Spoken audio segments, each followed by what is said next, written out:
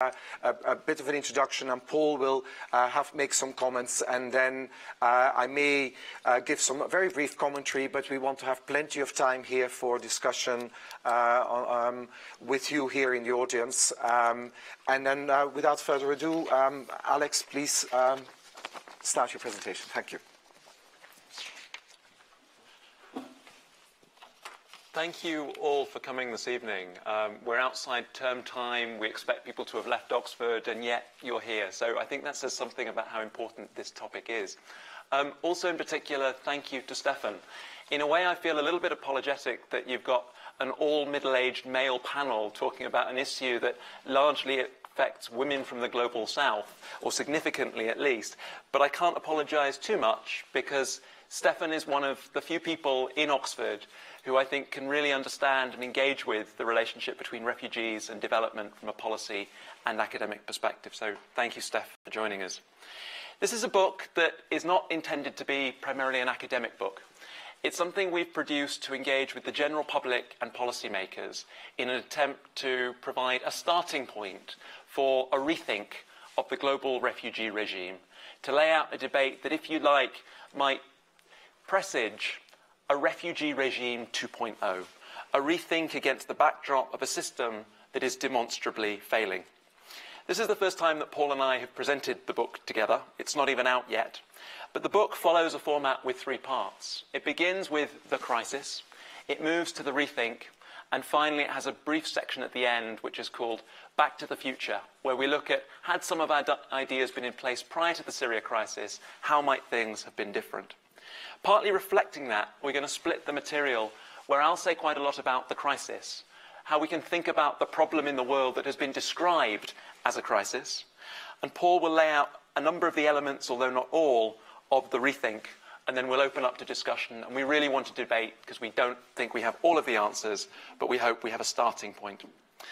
But I want to begin with the backstory. How is it that we came to write this book?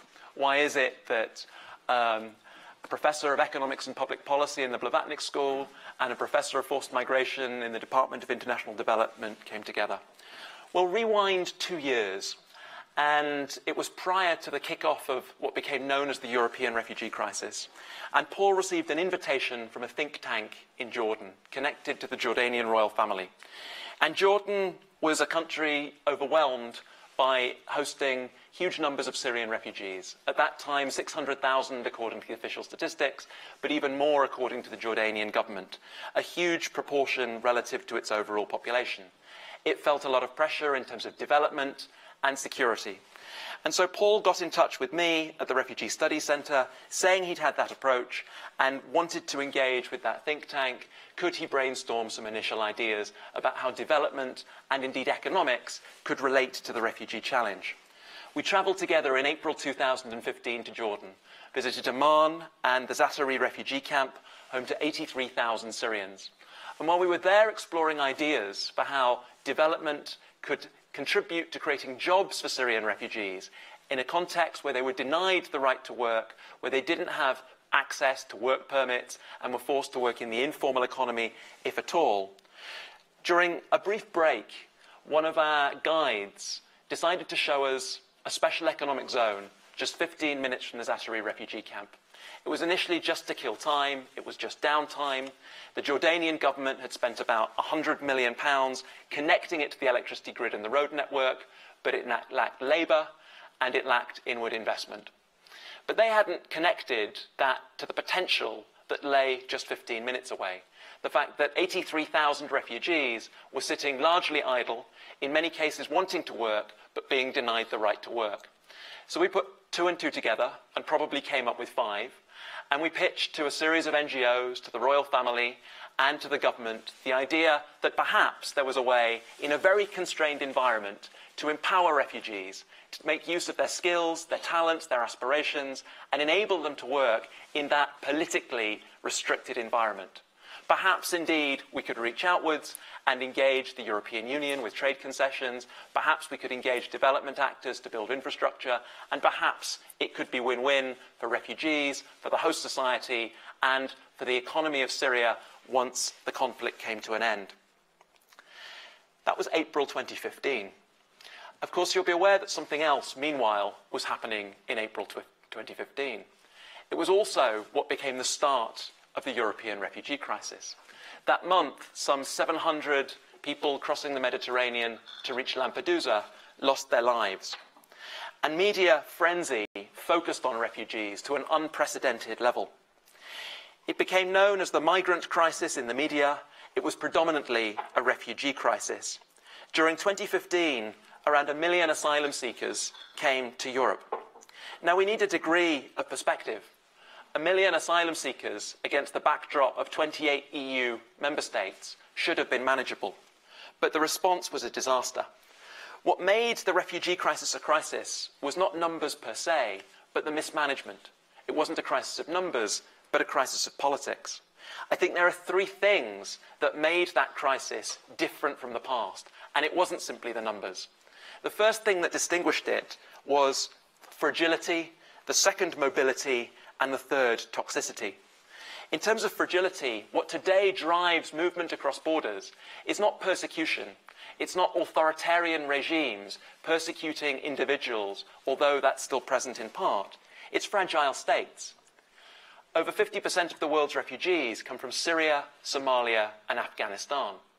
It's fragility that's driving those movements and makes them different from the past.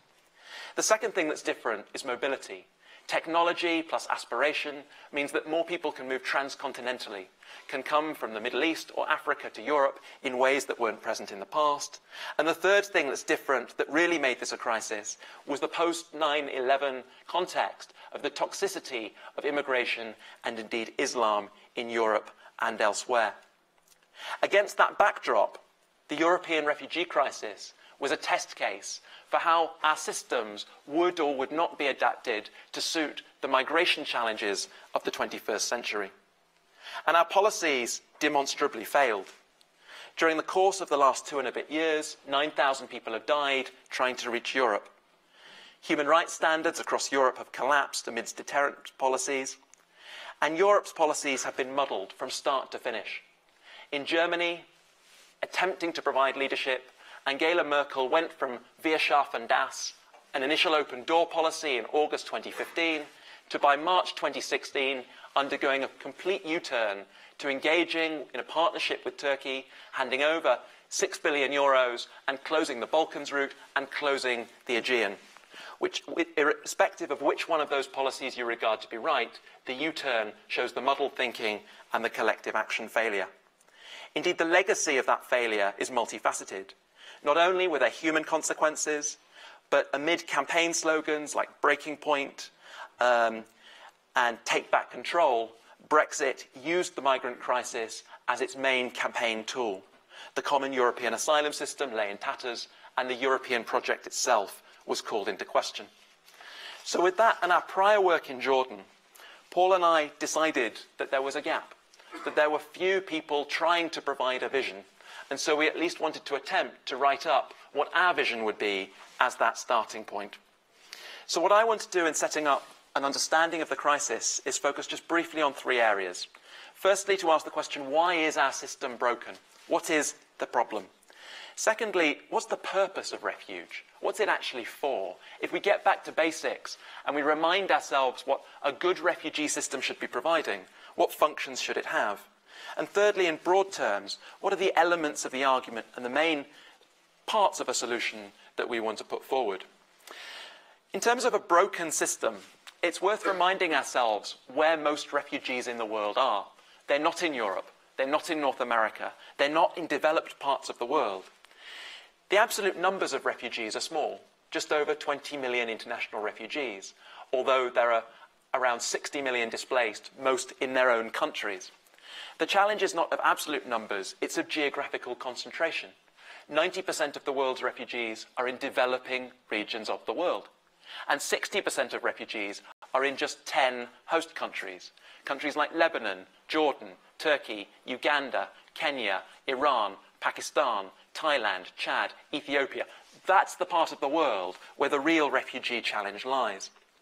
And while we focused on the crisis in Europe, a parallel tragedy is unfolding in those host states. For every one pound of public money we spend on an asylum seeker in Europe, we spend less than a penny on refugees in those host countries. That's not necessarily an argument that we're misallocating the one pound, but it's certainly an argument that we're not allocating enough to those host countries. And yet the default response to refugees in those countries continues to be refugee camps. That's the rollout solution of the humanitarian system. To open up camps designed for the initial emergency phase to provide food, clothing, and shelter. That's right in the emergency phase. The problem is it endures year after year, such that the average stay in a camp is now nearly two decades. Indeed, once a refugee has been in exile for five years, their average length of stay, according to the UN Refugee Agency, is 26 years. People are being born into, growing up in, and becoming adults in camps. Invariably, they're denied the right to work and denied freedom of movement. And so, faced with that, refugees have an impossible choice. They can stay in those camps, firstly. Secondly, they can move on to urban areas. But in urban areas, they rarely have the right to work. They have to work in the informal sector, and many face destitution. And that leaves the only option as a third choice of embarking on perilous journeys with smugglers. That has to be a false choice in the 21st century, and there have to be other ways of navigating it. But the international institutional architecture is failing to provide alternative solutions. It's stuck in a time warp and was built for a very different era in the aftermath of the Second World War. That institutional architecture comprises, from a European perspective, three elements. The 1951 Refugee Convention that defines who is a refugee and the rights that refugees are entitled to. Secondly, the UN Refugee Agency, UNHCR. And thirdly, the Common European Asylum System. All are failing to be fit for purpose to the challenge we see today. The UN Refugee Convention was made for an era in which persecution was the primary driver of movement. Against the backdrop of fragility now being the underlying cause of movement, it misses out people who are in need of protection, and it comes up with inconsistent and idiosyncratic decision making about who gets refugee status. For instance, if you're an Eritrean, you have about a 24% chance of getting refugee status in France, but if you go to Sweden, you have about an 100% chance. For much of the 1990s, Germany refused to recognize Somalis as refugees because there was no state to persecute them in court decisions. And so courts are forced to shoehorn contemporary circumstances into the language of the 1950s.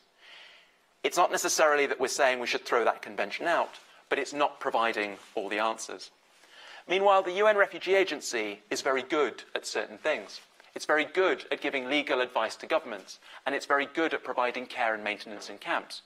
But these are not the skills that are needed for a UN refugee agency in the 21st century. The skills that are needed are political leadership, identifying mutual gain between governments, and putting a vision on the table. And secondly, development skills to provide jobs and autonomy. And the Common European Asylum System based on the Dublin system that allocates responsibility to the country that asylum seekers first arrive in, was built for small numbers, not the mass influx we've seen. So, stepping back from that failure, secondly, what should be the purpose of refuge? One of the challenges we face today is that refuge has become mixed up in a broader toxic debate about immigration and globalization. And today, in the aftermath of Brexit, with the rise of populist nationalism, there's been a very strong recognition that we have to take democracy with us. We have to reconcile it with other aspects of globalization. But refuge, correctly thought of, doesn't have to be part of that. It's not about migration per se. Refugees don't have an absolute right to migrate. They have a contingent right to migrate, insofar as it's necessary to access the protection and safe havens they need. Of course, refugees moved on from Lebanon, Jordan, and Turkey in 2015. There was inadequate safe haven, inadequate protection, and inadequate assistance in those countries. But correctly thought of, we should be doing better to provide safe haven to the majority where they are. In Europe, refuge has come to signal fear. In Turkey and Kenya, it's come, some, come to signal money. We need to put refuge back in its place and recognise what it's for and what tasks comprise refuge. We suggest there are three manageable tasks. Firstly, a duty of rescue. We have to provide people with safety, food, shelter, clothing. as happens in camps. That's right for the emergency phase, phase and it's right for the duration in which there's a, a risk. But secondly, and more importantly, the part that's neglected is autonomy. We have to restore refugees' lives to normality as quickly as possible by giving them freedoms, the opportunity to use and maintain and sustain their skills, and we're failing to do that. And the third task is a route out of limbo. It may be reasonable to expect refugees to wait for three or maybe even five years, but 10 years in limbo is absolutely unjustifiable. So it should be that there's a cut-off beyond which we resettle people. But at the moment, the purpose of resettlement is being lost. It's used by governments to make them feel better rather than to coherently and strategically add up to something. So the vision that we put forward in the book is one grounded in development, one where we recognize where most refugees are, but at the moment they lack jobs, they lack autonomy, they lack an enabling environment. So the question is, how can we begin to build that? There are past precedents of success that can guide us. Self-reliance has offered sustainable opportunities at scale for refugees in the past, but those past examples and precedents have been lost. In Central America in the 1990s, for example, Mexico integrated relatively large numbers of Guatemalan refugees after the Cold War. It did so with significant development assistance from the European community in a way that not only benefited refugees, but contributed to the development of the Yucatan Peninsula. In Uganda, we in Oxford have done a study at the Refugee Studies Centre looking at one of the very few countries that does give refugees the right to work and freedom of movement. We've shown that in Uganda, refugees can contribute to the host economy and help themselves and their community if they're given basic socio-economic freedoms. And that recognition is, in a way, the starting point that opens up new avenues for how we think about globalization as an opportunity, development as an opportunity, and how we can conceive of ways in which we don't necessarily replicate that Uganda model, but look in a context-specific way at the other challenging parts of the world. And I think that's where Paul's going to pick up the story. Thanks.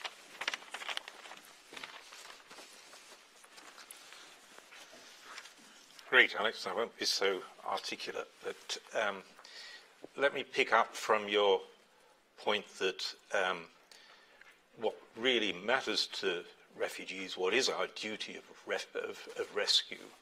Um, it's to, to restore normality, and the most fundamental feature of normality is a degree of autonomy.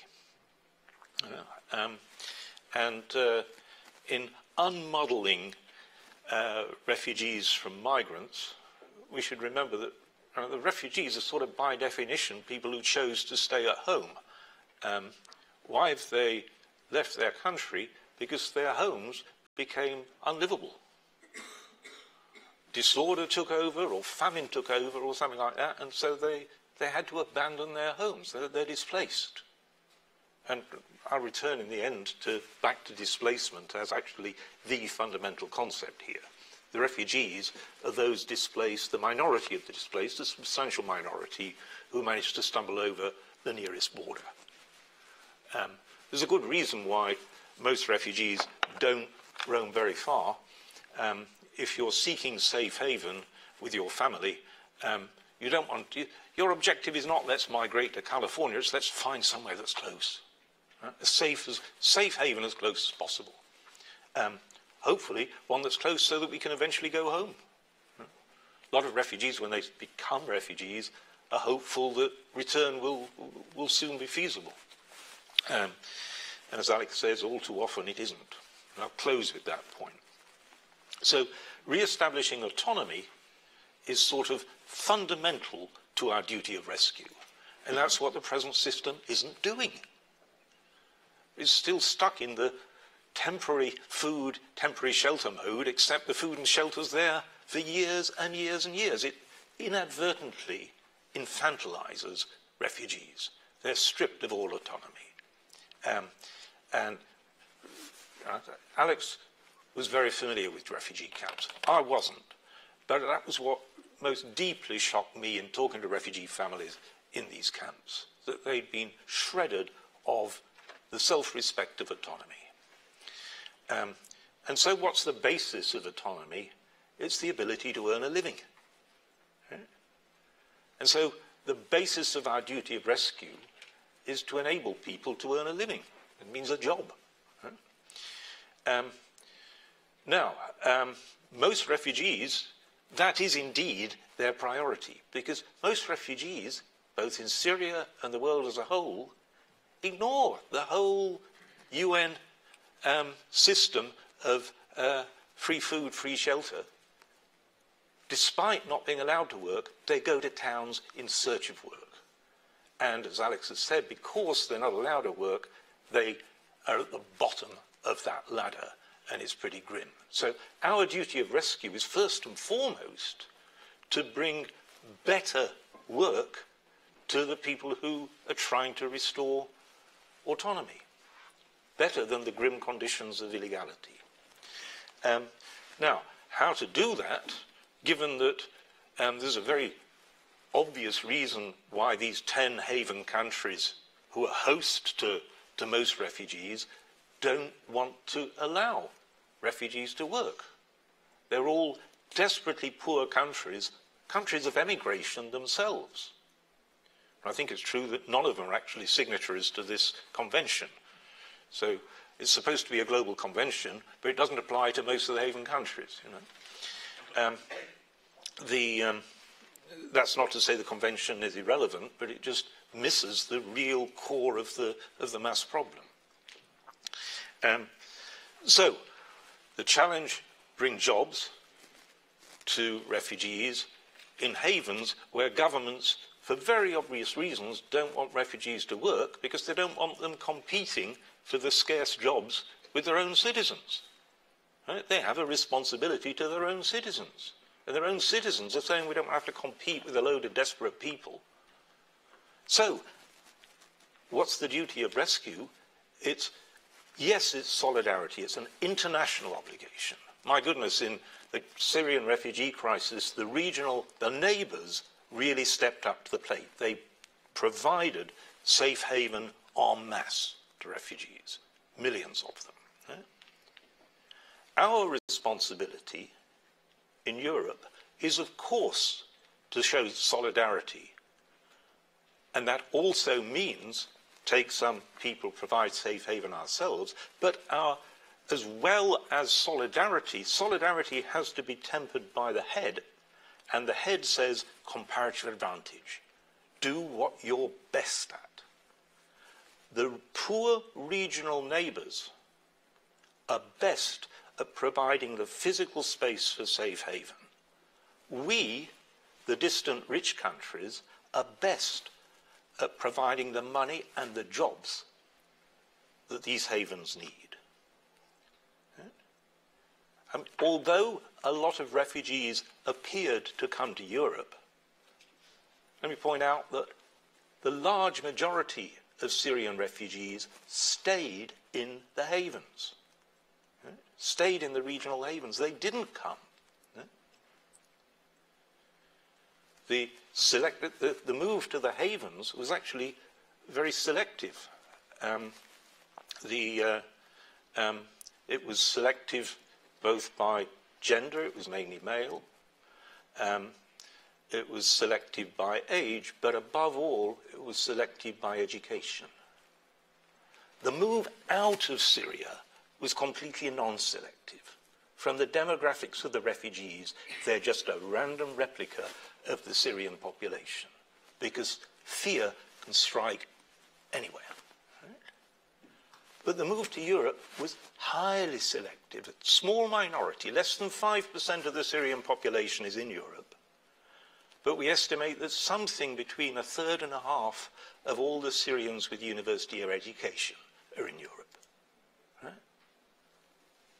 Inadvertently, we've drained Syria of the very people who will be most needed to rebuild Syria. We didn't mean to do that. It wasn't a, a viciously meant policy of we'll take the best. It was just inadvertent, but it was an example of what we mean by the headless heart. And the problem is too serious for the headless heart. You know, Europe started with the heartless head for four years, neglecting lurched for three months to the headless heart, and is now back with heartlessness, unfortunately. So, what does a head heart policy look like? It means providing the money for the havens and bringing jobs to the havens. What Alex and I put to the Jordanian government was how about viewing refugees not as a liability, but as an opportunity? There you are, you're a middle income country stuck in the middle income trap. To get out of it, you desperately need the world's big firms. And the big firms are not coming to you for various reasons. But with that refugee labour force and with the attention of the world, you could actually get the international community to bring the refugee, to bring the big firms to Jordan. And that started to happen. We went to the World Bank. The, we said to the World Bank, what, what are you doing in Jordan? They said, nothing. We're not allowed to. It's an upper middle income country. Our rules say no activity in upper middle income countries. We said, there's a million refugees there, damn it. They're not upper middle income, they're desperate. Oh, refugees, nothing to do with us. That's a humanitarian issue. Go ask UNHCR. UNHCR is not equipped to do jobs. It's full of lawyers and anthropologists, right? As, as Alex said. The wrong agency for the problem, right? You either change the staff of UNHCR, change its mandate, or get other agencies involved. The fast track thing is get other agencies involved. So we just suggested, why don't you ask the board of the World Bank whether it thinks this will be a sensible thing to do? So to its credit, the Middle East region of the World Bank put together a project saying, what about a loan, soft money loan, to Jordan to finance jobs in refugee camps, jobs, sorry, jobs in industrial zones near refugee camps that will then, um, those jobs will be partly for refugees and partly for Jordanians. New jobs coming in. World Bank tried that with its board.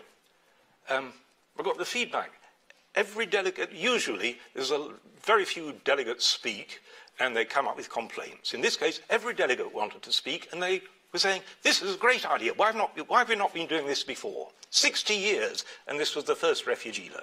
Right? So at last, the, the world's main economic agency is in business. Then we went to the European Commission and said, um, you know, do you realize that you've got trade barriers against goods made in Jordan? There's no chance of getting firms to go to Jordan whilst you're imposing trade barriers on any goods made in them. And so, European Commission thought, yeah, that's, that's not a good idea. Let's change the rules. So they've given Jordan 10 years free market access. Now, this started to shape up as a package that the Jordanian government was interested in. So they said, yeah, we'll do thousands and thousands. I mean, they've been talking 200,000 work permits for Syrian refugees in Jordan as long as the jobs come in. So now the action is going to firms. Try and get firms to come in. For example, in Britain, um, the business secretary herded up a load of chief executives, put them on a plane and flew them to Jordan and said, go look see, go and find opportunities. Asda, the huge supermarket chain, discovered it could source a lot of its supplies in Jordan, generating jobs which will be shared between refugees and Jordanian citizens. That's the win-win. I've got to shut up soon, but one little tweak on that is um, conflicts eventually end. They don't end soon enough, but when they end, the job is then um, post-conflict recovery. And uh, we can, I was going to say kill two birds with one stone here, but killing is probably not the right image, but um, uh, we can, by doing this, we can incubate the post-conflict recovery before the conflict has ended. As we bring in firms that employ Syrian refugees, they run businesses which use Syrian refugees, and then when the conflict's over, those refugees will want to go back to Syria, and the firm can set up an operation in Syria with those workers. And so you're building the the economic infrastructure for a post-conflict recovery, the firms that employ people, even before the conflict's over. Um, let me um, let me turn finally to um, back to, to, this issue of displacement, which I think both Alex and I see as the fundamental phenomenon. And there's a desperate statistic in refuge, which is that uh, the number of displaced people is at a post 1945 all time high. You know? I mean, this is shocking if you think about it. We've had 60 years of the most unprecedented global economic development in the history of humanity. And yet, alongside all that growth and development, displacement is at an all time peak. Um, so something's going very seriously wrong. And, uh, and this is what I think is, is, is going, going desperately wrong, is that, um, as Alex said, that the heart of it is fragility. There are a lot of states prone to fragility, and we do very little about that fragility. We've really not had a good way of addressing fragility at all for the last decades. That's why it's still there. And then every now and then, a few of the countries prone to fragility, their number comes up and they collapse. Not many at any one time, but they collapse. And even if they crawl out of the collapse, all they do is return to fragility. Very few countries are escaping that fragility. And so what we're seeing is a sort of ratchet. Each time a country collapses, it generates a load of uh, displaced people. And then that country, even if it gets back to peace, it never gets back to the sort of development that would actually enable people to return safely. And so the, the, the stock of the displaced accumulates like a ratchet. If that's the problem we want to tackle, we need to do three things. The first, which is the main focus of refuge, our book, is whilst people are displaced, we better look after them. And that means autonomy, a job. The second thing is um, we better try and um, stop the flow into displacement by addressing that pool of fragile states, um, trying to reduce proneness to, uh, to, to, to, implosion. Um, and I'm very proud that uh, uh, the Blavatnik School, Blavatnik School, together with the London School of Economics, has just established last week a new commission on state fragility, um, uh, chaired jointly by David Cameron, Donald Kaberuka, um, which will be working in the next year to try and come up with policies to make a better job of reducing fragility. And that will staunch the flow into displacement. But that's a long haul. And then finally, um, uh, the other flow, that um, uh, the, the, recovery from uh, conflict. And that's the incubation strategy. We must make a better job of post-conflict economic recovery. So with that, uh, let, me, let me shut up and come and join you. Thank you. Um, allow me to use um, this opportunity to, to give you a few reflections on some of the things in the book, but um, also from the point of view of um, how these thoughts have um, have influenced our public policy. Actually, this is not just a pamphlet that maybe now maybe end up being read somewhere in Whitehall and maybe in five years maybe someone may think they want to do something. I mean, the, right, the, the book as written up is actually, and the ideas within it have already quite strongly influenced and helped to consolidate thinking in public policy circles, actually contributing to a new narrative. Um, and in particular, um, I have to declare an interest in last in, in, recent times. I have been and I still am the chief economist of the Department for International Development in the UK, um, and these ideas have definitely um, been very influential in trying to work with the international community to get some of these better responses going. And allow me to, just as Alex was dating some of the thinking and how it came to somewhere April 2015, um, allow me to actually reflect a little bit of how the, the link with policy started coming faster. Of course, it's in various routes, but I'll tell in my own department. And what it did happen, I actually know it very well, still remember very well. I think, in fact, I was sitting on a little table um, on my holiday in Spain while all in August 2015, where a lot of things were happening. And I started getting urgent requests from London and saying, you know, do you have any ideas? Is there anything we can do? And look, UK in that moment was making a very particular public policy uh, choice that, you know, maybe at that moment for most people looked extremely strange and abhorrent, while for others, and in fact Paul has articulated it, if you start reflecting on it, has actually more um, more thinking potentially behind it, at least if you be, want to look at it in a longer perspective. And uh, I do remember getting the link to, and I think it was uh, Foreign Affairs or something, the paper that came uh, that moment. And, uh, you know, um, as someone who has known Paul for uh, an extremely long time, um, they'll pick up, oh, Paul has written something, let's have a quick look at it. And I remember starting to think, on, in line with some other things that we started to see, of how this actually could work. Um, and then in the subsequent months, uh, you know, got on a plane to Jordan and started talking, and in fact, more or less mirrored the visit that they did, together with people that I know exactly the person who did lead them to the industrial park, because the man was extremely well prepared, because he had already a full slide pack for actually with a lot of the details of how the industrial park would actually serve the refugees. This person had a particular interest. He wanted the industrial park to work.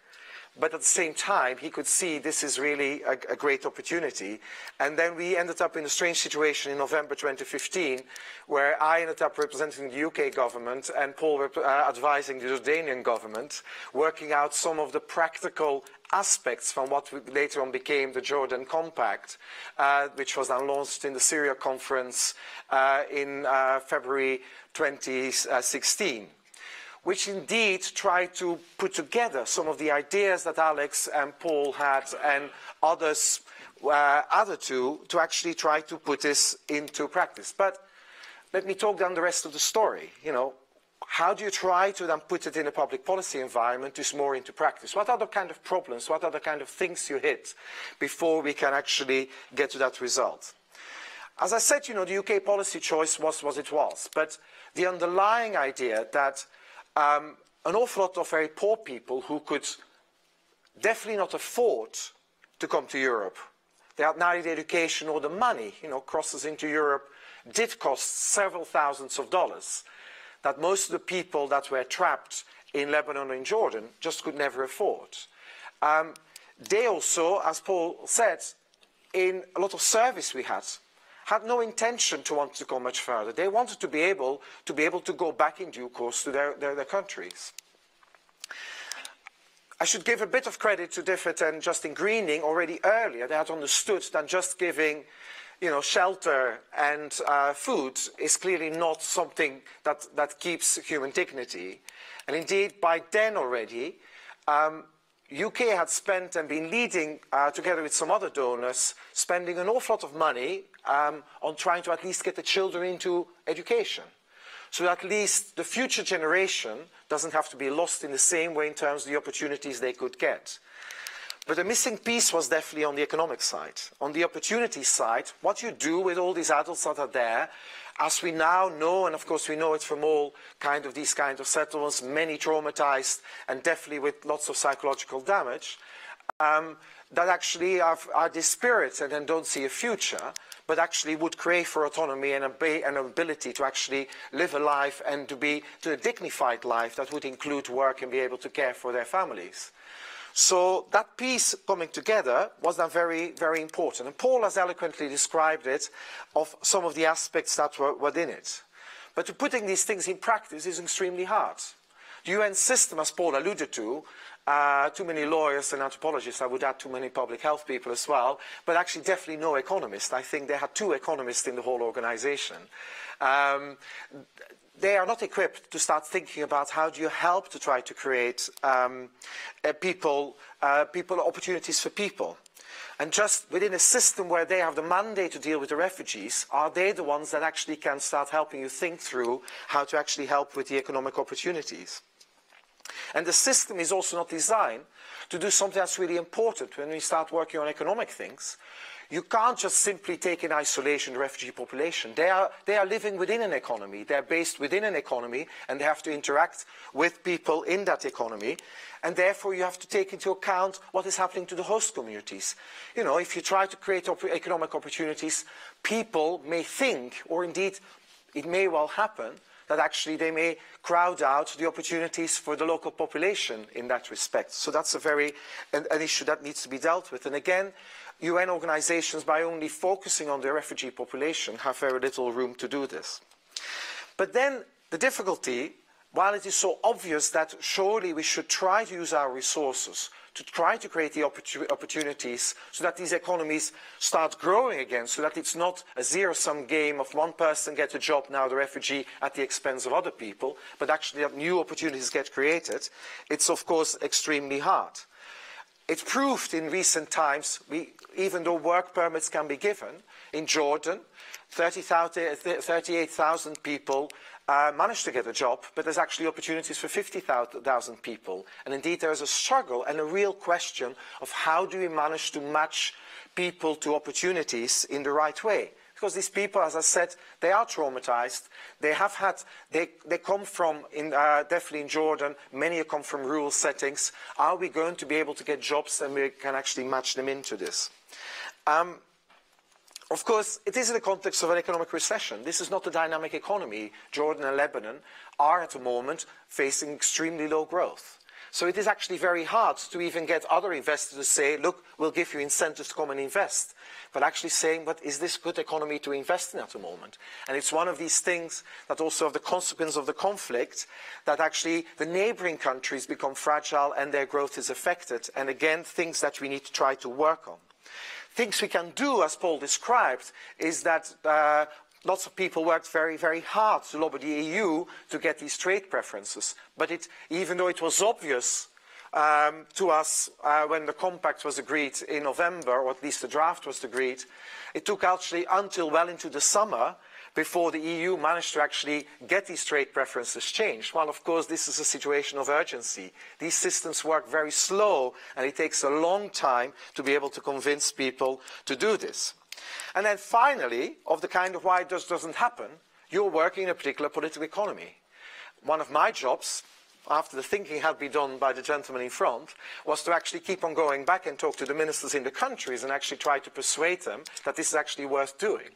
And I do remember, and let me not name names, not even countries, but the kind of imaginative suggestions that uh, uh, were, were made, where one particular minister who had the responsibility for labor issues in the country proudly said that we love the ideas, but he then started proudly telling the story that it is the, that very morning had managed to get uh, the TV crews out where he had noticed that a small grocery shop had been opened by Syrians in his neighborhood, and he proudly closed it in front of the cameras, to saying, surely we can only have proper formal legalized uh, with every 55 licenses that these people should be having, and actually was destroying jobs in, in front of us. Or another one who gave an actually more morbid suggestion and said, why don't the donors help us to set up something that clearly is in demand at this very moment while so many people were crossing the Mediterranean? Why don't we start a boat industry in this country? So it lets people that they can build their own boats to come to your countries.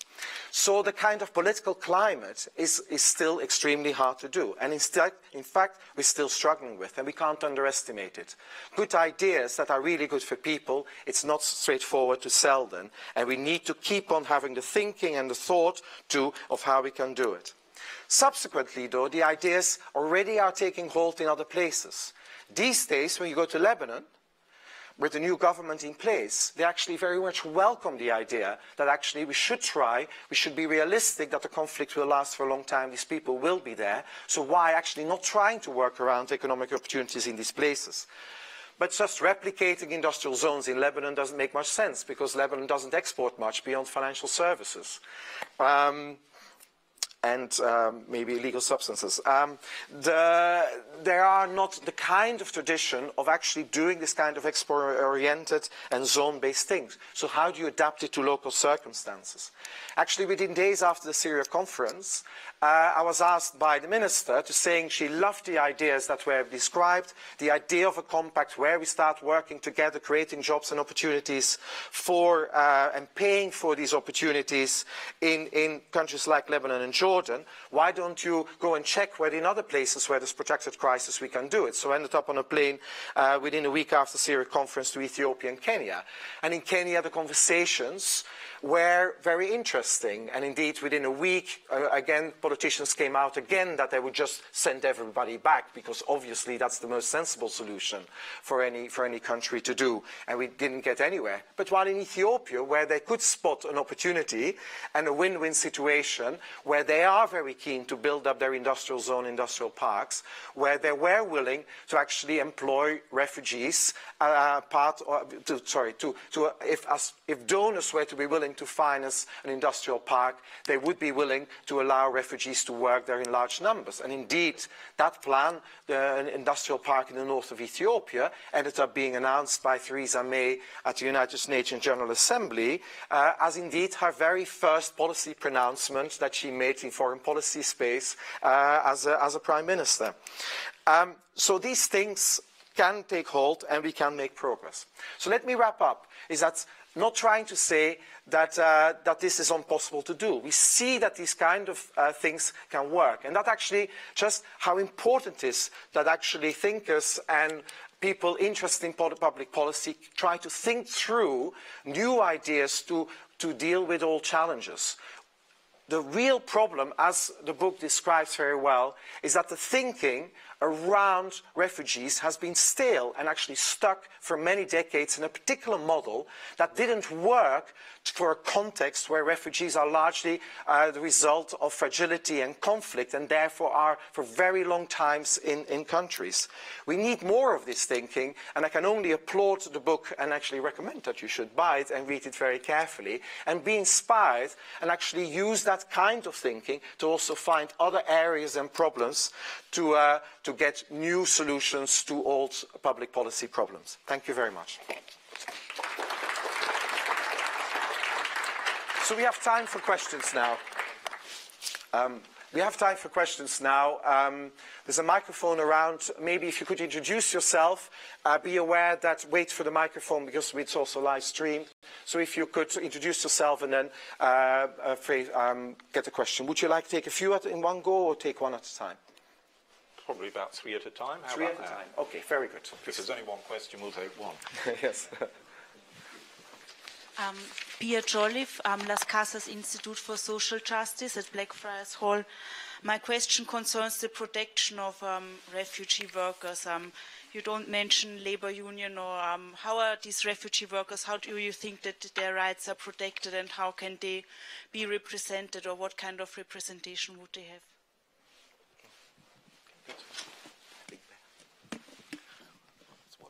Thank you.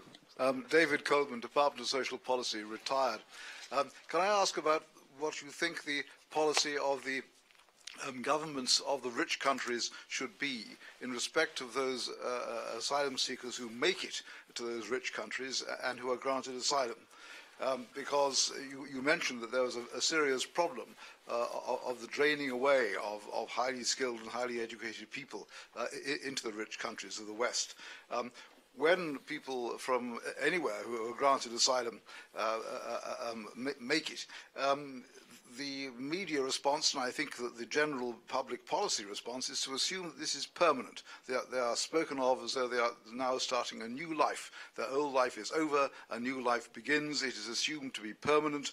Um, they are assumed to uh, integrate and possibly assimilate um, into the country where they have um, uh, found refuge.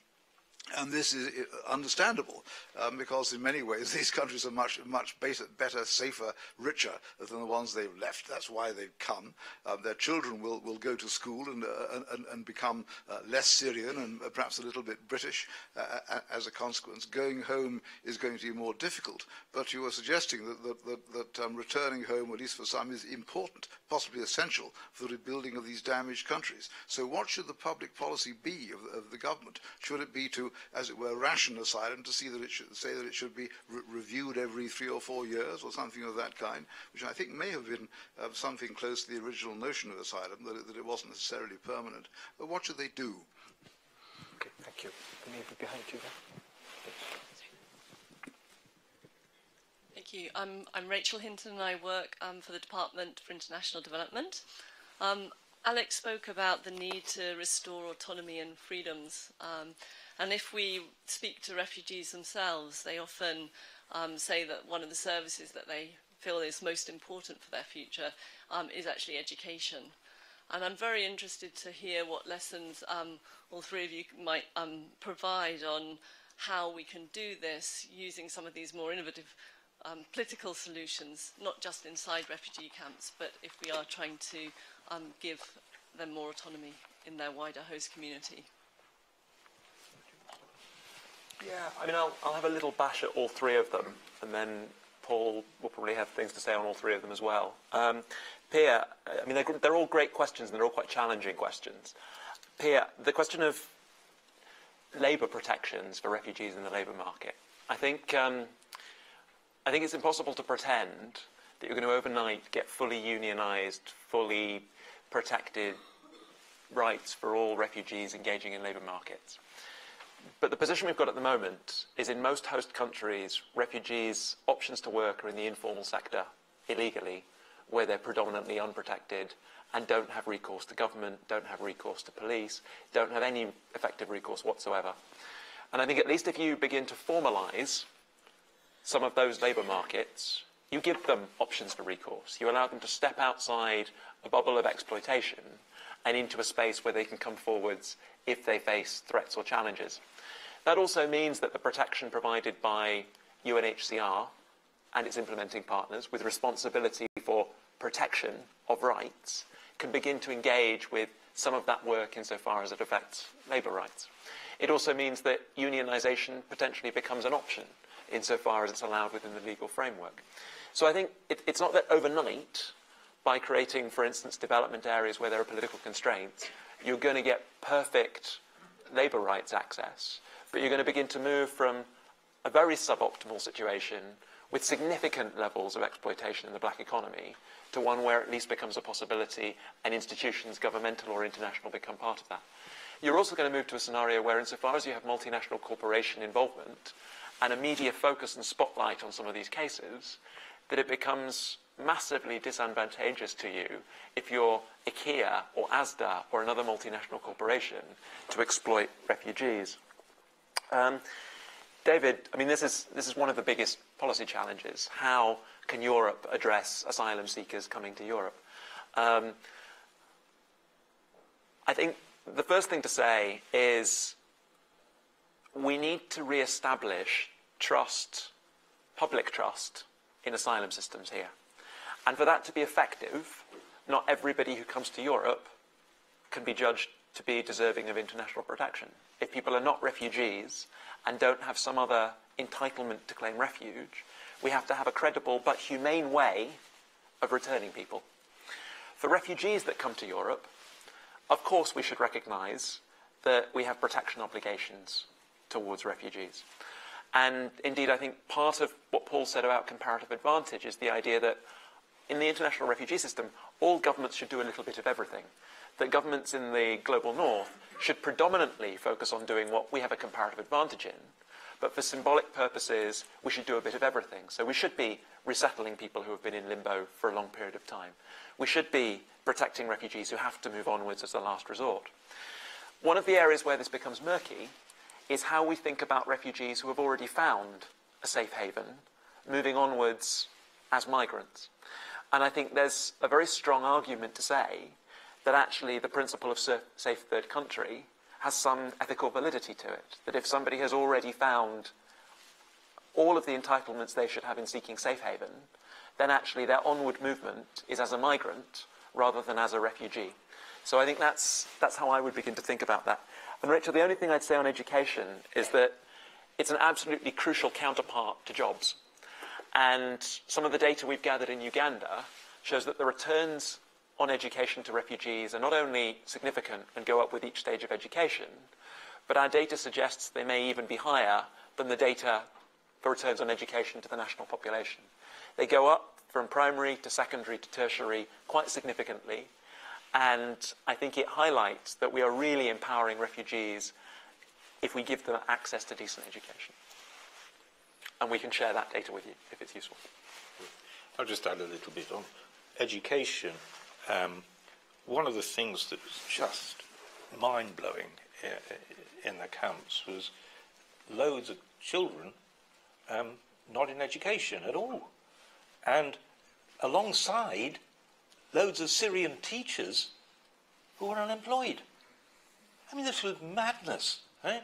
I mean, actually, coming in as an outsider is kind of what this system needed. It was so mad that any outsider coming in with a fresh eyes would see this is, whatever else you do, this is crazy. And why were the Syrian teachers unemployed and the kids not in school? Because the rules said they're not allowed to work to teach the children. It's the responsibility of the government of Jordan to provide Jordanian teachers. But of course, parents didn't want because what were the Jordanian teachers going to teach? The Jordanian curriculum. What did parents want? The curriculum that kids had had. You know? So this is such a no-brainer to make things better than that. You know, um, one of the functions of aid should be to pay Syrian teachers to teach the Syrian kids whilst they're not in Syria. You know? And So basic things can be much, much better. Um, return to, to labour rights. Um, go careful here. Right? Go careful. Anybody who's got a work permit has got the same protection rights as any Jordanian.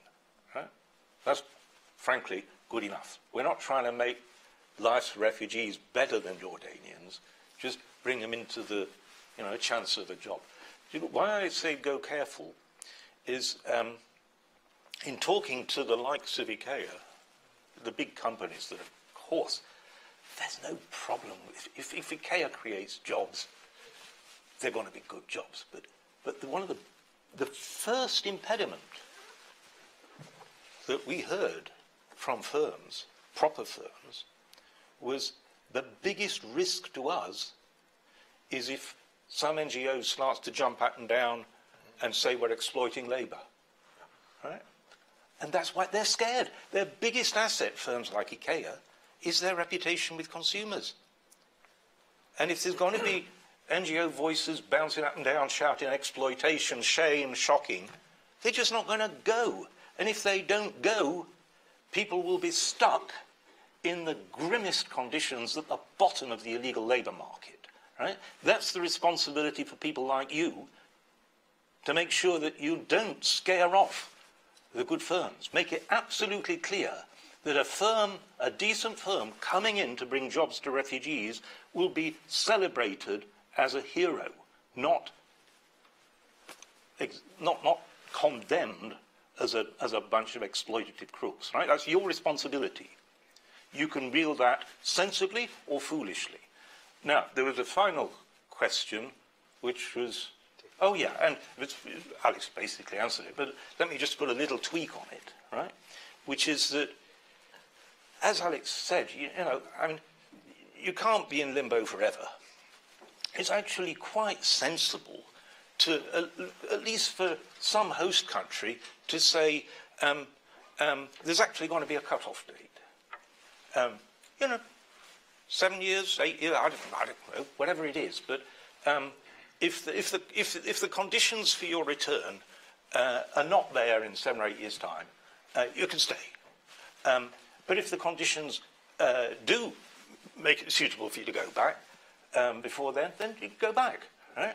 The advantage of doing that ex ante is that everybody then knows where they are. You can then plan. Do I think this conflict's going to end in the next few years? If I do, until I, whilst I think it's likely, I'm going to conduct my life accordingly. Keep my contacts back home. Save my income here so that I can go back and, you know, set up a business, restore my home, whatever, right? And then as it comes up to the time when, oh God, I'm not going to be able to go back, then you think for the first time, oh, I better actually learn the language, start to integrate and so on. That's, that's a sensible thing, and it will be guided by having ex ante some sort of. It's, in, it's completely arbitrary where it'll be, but it's obviously longer than one month and shorter than 50 years, and somewhere in there, there's a sensible cut-off point, and it would be sensible to say it. Very good. Question at the back there.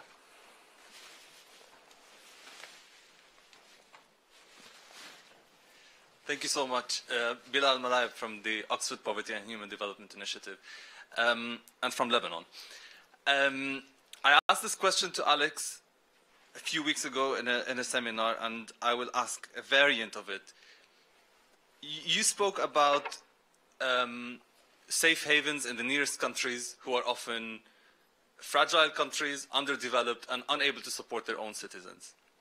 Jordan is slightly a different example in the sense that it's upper middle income, large uh, surface area, can possibly support the Syrian refugees. But taking Lebanon, which is admittedly an outlier in the, so, in the sort of uh, refugee hosting countries, a solution of the sort that, that is being implemented in, in Jordan is, in my opinion, inapplicable. So my question is, why do we keep focusing on neighboring countries, the, the, the, the very neighboring countries? I understand that the status quo is that most refugees are in these countries, and we also focus on Europe, US, and Canada, and not focus on countries that are less densely populated around the world, and try to think more creatively about special economic zones around the world where we can resettle people in a more efficient way and return them back to Syria or their home community before the crisis. Thank you. Okay, thank you. Um, okay, there at the back. Moritz.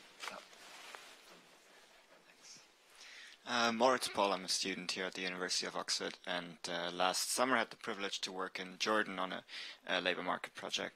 Um, I'd like to invite the two of you to think a bit more critically about the work permit system in Jordan that the government of Jordan put in place.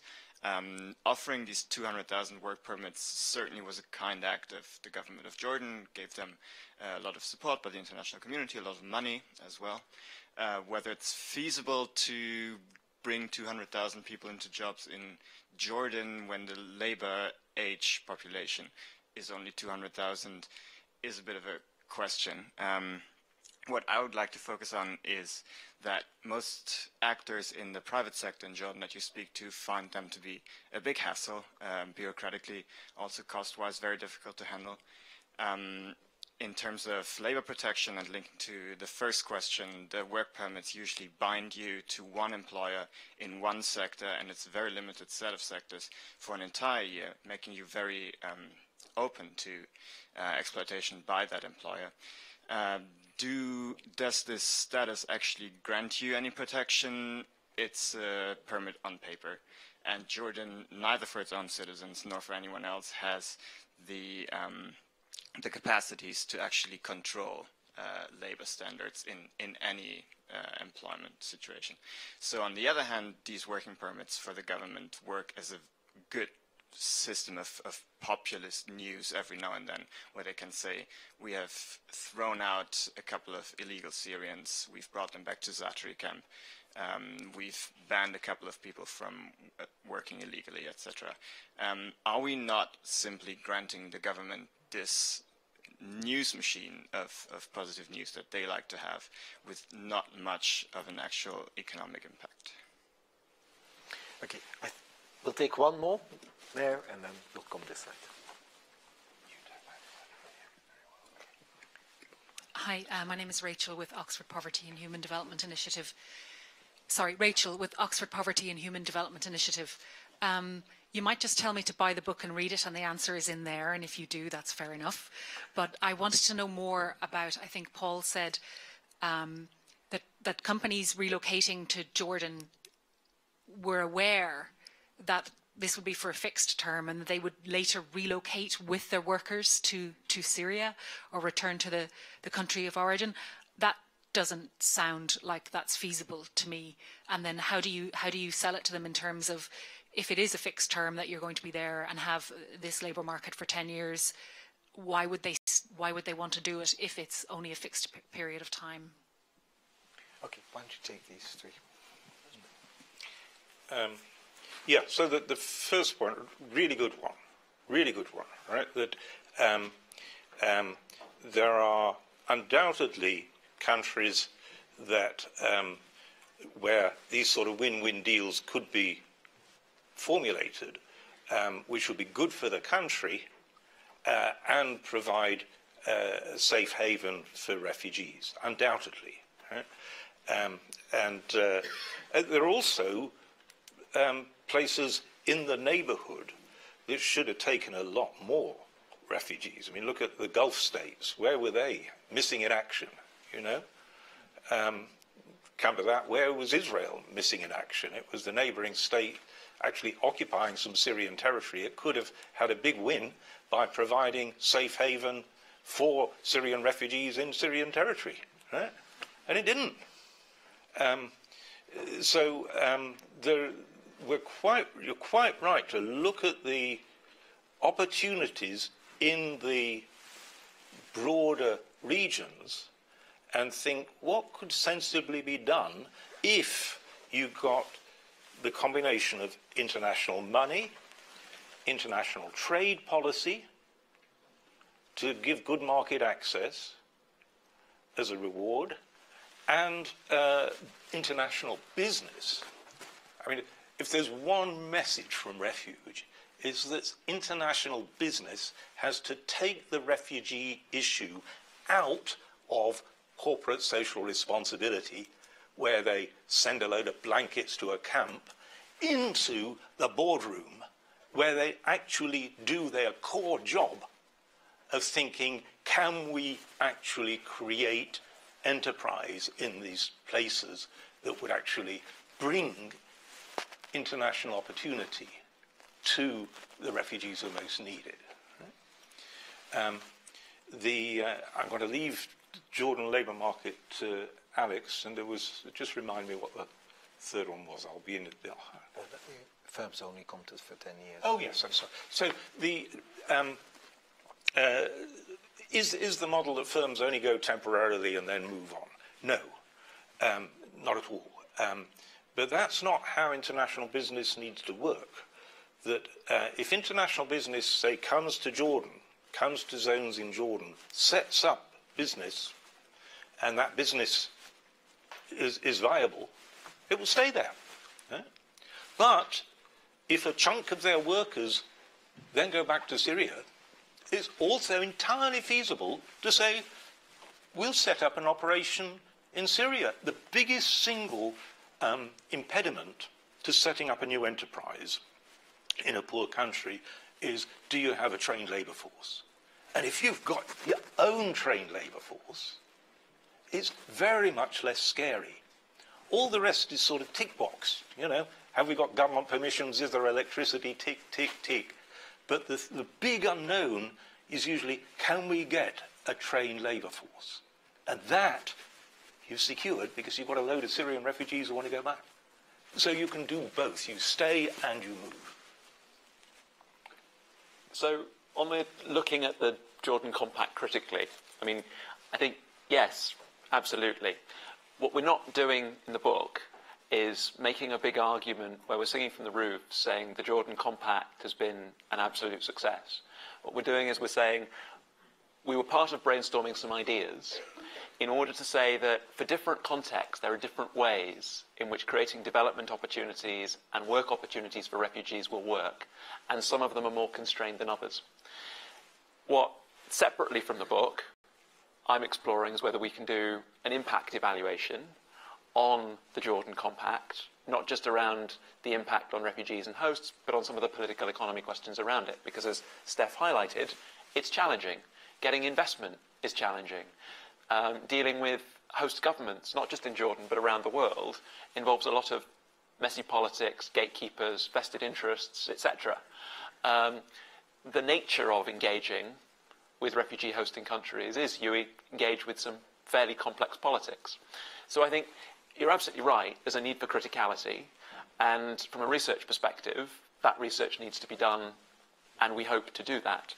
Um, I think, though, that doesn't necessarily mean that we should, as academics researchers, and in Steph's case, policymakers, shy away from trying to bring improvements, shy away from thinking innovatively and engaging those governments in trying to make a difference. I think 38,000 work permits and moving towards 50,000 is a pretty good starting point. I think, yes, of course, a government in a very constrained position is going to try and represent itself in the best light, and in some cases that's going to be potentially misrepresentative and exaggerative, or potentially used to legitimate. But that, that is unfortunately the nature of how politics in most of these countries work.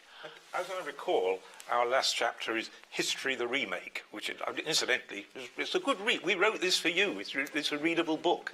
Um, but uh, his, in History the Remake, we say, suppose these ideas had already been normal when the Syria crisis started, right? And that's really the, the question. If these, if these ideas had been normal, the institutions already adapted to doing them, then actually all this would have been very, very much more doable.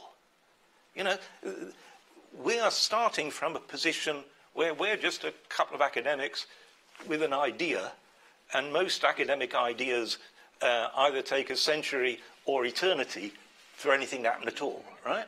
Um, and in two years, this has actually moved from two wacky guys with an idea to things happening, both in not just in Jordan but in Ethiopia. You know, things happening in the World Bank's board, things happening with the European Commission trade policy. Right? Now, that's not because we've been ingenious in pushing it. It's because the ideas are actually pretty sensible. They're pretty obvious. As I said, a fresh pair of eyes, two fresh pairs of eyes, just looking at this, it was obvious that things were wrong. And so yes, we've, it's been an uphill struggle, but just cast your mind into that idea. Suppose this had already been regular currency. No, and, and I, would like to add there is actually, um, I mean, Maurice, you make a very good point that, you know, it is a, it's quite a jump from wanting to create economic opportunities to actually zooming in on language on permits. And we know that. I mean, as Alex is suggesting, and in fact, his impact evaluation, I can imagine of some of the things that will come out, which is, you know, there's an element within the political economy where it needs to be presented as if, you know, this, the country is still in charge. It is, it is granting that permit, that permission to people to do it. And as a result, we also know that these numbers, they sound very high, but in the early stages, they were easy to reach because that was actually just forcing some informal sector workers to formalize. This was not about new jobs. And we know quite a lot of the early ones. That's why the 200,000 is actually quite achievable because there's, of course, many more Syrians already for long generations in, uh, in uh, or at least uh, temporary or permanently in Jordan and so on that we can have. But it helps in the beginning because we also know the other side. You know, um, this is at the moment exemplified, and it would be brilliant if different people can start evaluating independently. But you know, I've I've seen a Syrian firm that exactly did what you described, that actually did on the back of this whole thing, ended up relocated in the country and employing uh, something like 70, 80 Syrian workers, yeah. uh, and actually doing exactly with almost literally the narrative uh, that, that is being described. Now, I don't know whether that's one out of 100 or one out of two or one out of 3,000. That's what evaluations will do. But, but we shouldn't be too hung up that it's saying, oh, well, uh, that's not, not, not, not enough as a number. It is actually this beginning of, of, this, of, of showing that this can work. And most importantly, within these countries, these kind of things are actually done generally well received. And within the political economy, people actually say, well, it's actually it's not too bad that actually opportunities are being created, that these firms are being set up, and Syrians are being employed. Actually, if anything, it seems quite all right. The country is not collapsing from doing this. And so we can see that it's beginning to work. But let's, let's hope we have good research and, and remain skeptical and I hope you do it yourself as well, Morris, at some point, doing the research in trying to look at it very carefully and, and, and critically. But it is interesting and it's worth pursuing. It's, you know, two wacky, two wacky guys, as they say, call themselves clearly, uh, getting some ideas and actually trying to see with various people getting involved, trying to put it in practice. I think that's, that's what good public policy making and thinking around it should be about. Um, let's do one more round and then we'll close, I think. Not, not more? Quick, one, one, One more very question. quick one, very more short question. I know there was a few on this side, so I'll take these two and then we'll close, okay?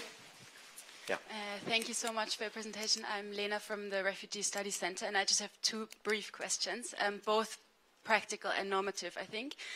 The first one is about the allocation of responsibility. Um, last week at the conference, we had Aleinikoff said that you can't get out of the box if you don't see the box, and in this case, states are the box. Um, so if we actually look at other actors, for example, the private sector that might be both more willing and more capable to provide solutions, how can we actually allocate the accountability for doing that towards these actors?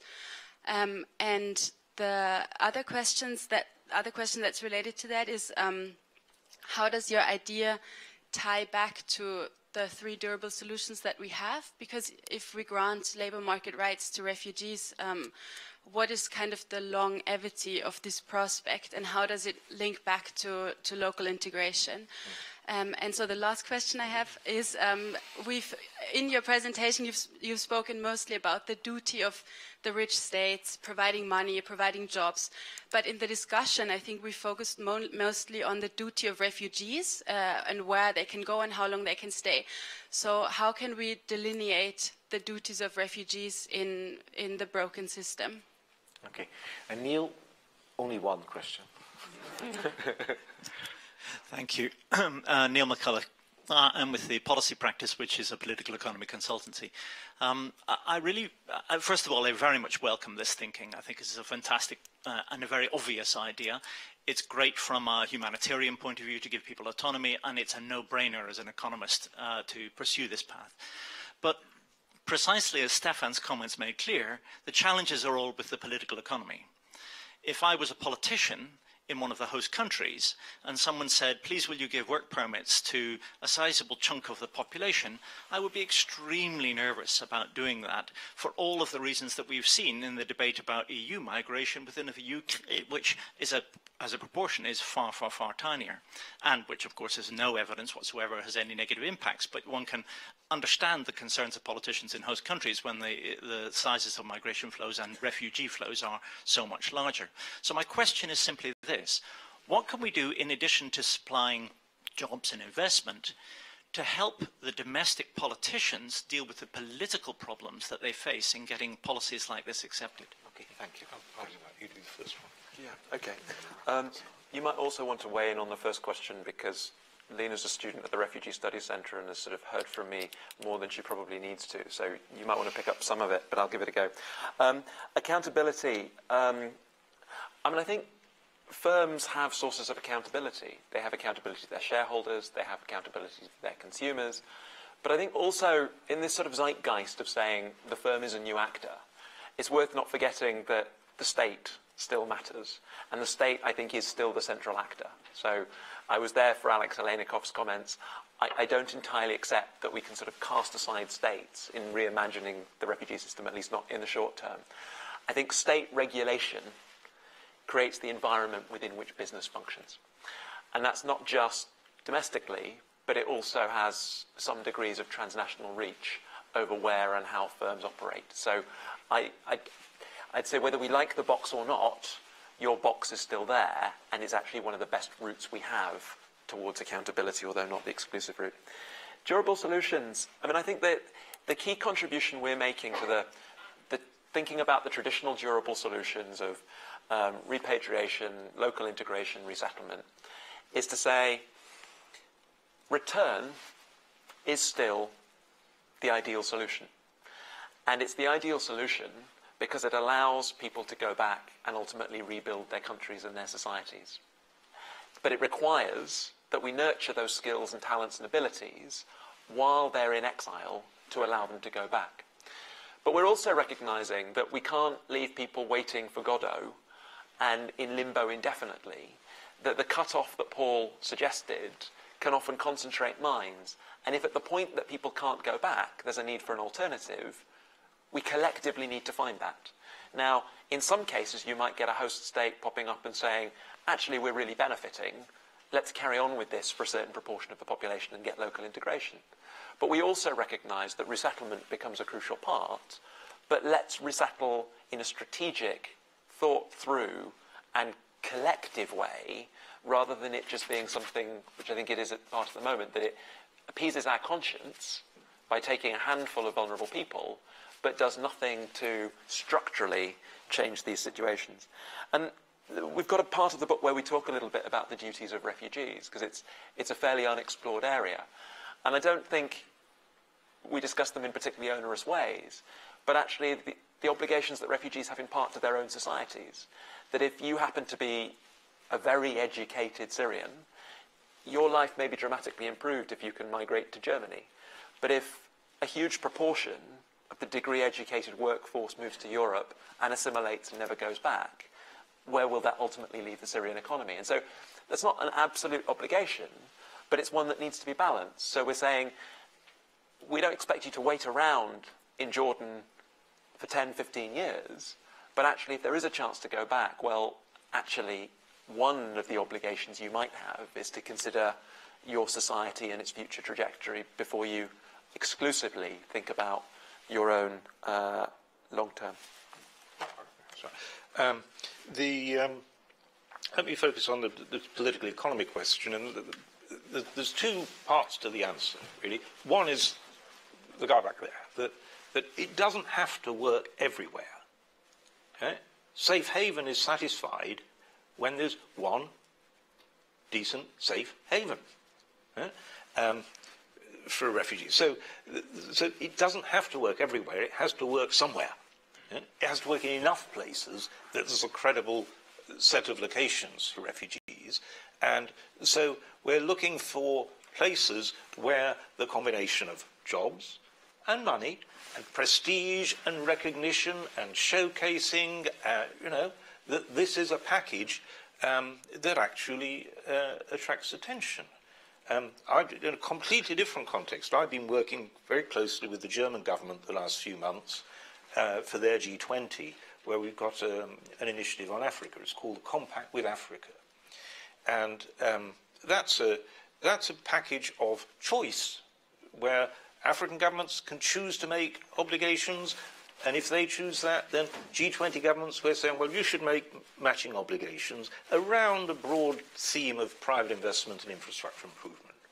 Uh, we've just launched it, um, and there are already seven African countries leapt up and said, well, we want that. There'll, there'll be a lot more by the time we finish. Um, so there's, there's appetite out there. There's countries that are very worried the governments are very worried that they're stuck in poverty and they want to do something which gives them a lift out. And if, if refugees are an opportunity to get a lift out, some countries will take it, not all. Can I just add something in parentheses to Neil's question? I mean, I think this is also something the international institutions are missing. Very localized political economy analysis and the capacity to do the political analysis to know where the constraints are in the host states and societies. And so, again, this is a message that, that we have for organizations like the UN Refugee Agency. Build in the capacity for political analysis so that you at least know what those constraints are and you're not naive about them. Right. Well, thank you very much. Thank you for, to all of you for your, your questions and your patience as well.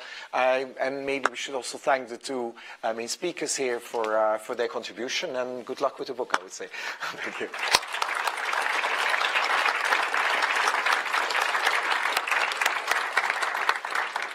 And here's the deal. You read it and spread the ideas, we'll sign it now.